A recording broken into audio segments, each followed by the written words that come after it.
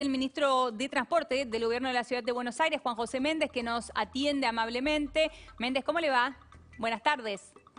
Muy bien, buenas tardes. Muchas gracias por el contacto. Bueno, gracias a, a, usted. A ver, una consulta. Lo primero que hemos dicho todos hoy cuando hemos llegado aquí a nuestro lugar de trabajo es la cantidad de autos que vimos hoy en el ingreso a la ciudad de Buenos Aires.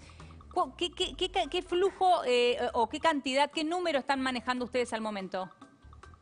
No, la verdad que el número es un poco parecido a como cerró la semana anterior. Digo, si miramos toda la cuarentena en retrospectiva, es cierto que las primeras dos semanas hubo muy poca circulación, aproximadamente se movía entre el 8 y 10% de la gente que se mueve habitualmente en la ciudad y ya en la última semana estábamos en un 25-28%. Hoy creemos que vamos a estar en esos niveles, entre el 28-30%. No varió mucho, lo que pasa que Seguimos aplicando los controles de circulación. Los controles de circulación son retenes entre la policía y los agentes de tránsito, donde se verifica la documentación y eso puede producir demoras. Y por sobre todo más demoras si encima aparecen situaciones donde la documentación no es la correcta o alguien está eh, circulando sin autorización. ¿Tienen ya información de esto? ¿Si ha sucedido más que lo habitual en el día de hoy? ¿Más gente circulando sin la autorización que le correspondía? No, por ahora es, está en línea con lo habitual y, lo que se va reflejando es que se han ido cada vez flexibilizando o incorporando más actividades y entonces eh, eso también va generando un volumen de tránsito mayor. Y además que estamos recomendando no utilizar el transporte público y utilizar el automóvil particular. Eso también hay que tenerlo en cuenta.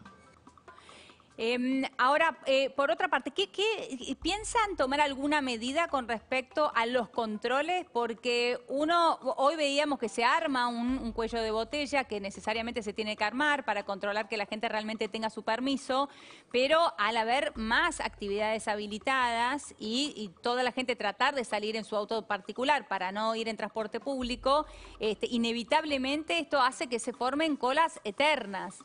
¿Hay alguna manera de modificar los controles o están pensando en modificar los controles?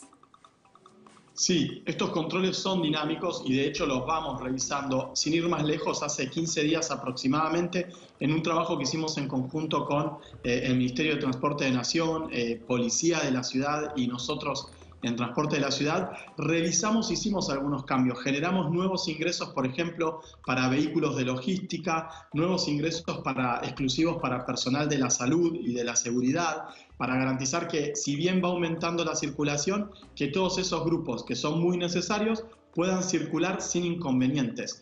Eh, lo que sí hay que tener en cuenta es que estamos dentro de la cuarentena, la cuarentena no terminó, es una nueva etapa. Y otra cosa que los vecinos tienen que entender es que un permiso, por ejemplo, para ir a trabajar, no es un permiso para después agarrar el auto o subirse a un transporte público para ir a un comercio o para ir a visitar a alguien. Los permisos son específicamente para acceder a esa actividad y nada más. Entonces, acá eh, hay mucho de responsabilidad individual a la hora de movernos, entendiendo que tenemos que evitar la mayor cantidad de desplazamientos porque sabemos que en los desplazamientos, en el movimiento, la interacción es lo que genera el avance de la pandemia.